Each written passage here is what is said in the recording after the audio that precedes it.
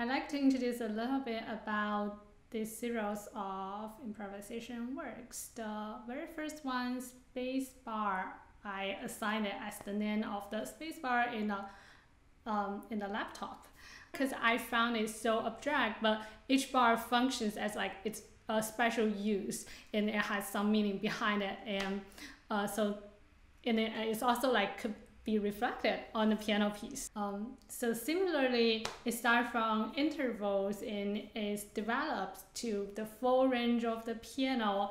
So it's similar to like how we use the spacebar when we are typing. So when we type a spacebar and it either shows like a blank or it's kind of leaving a space there. So in the piano, actually build up like different space so if you imagine maybe I'm using like different space bars on the piano keys and I really like to explore um, the timbre and the sound of the piano without concerning too much about tonality, structure, and the format of the music. I hope you will like it. Thank you.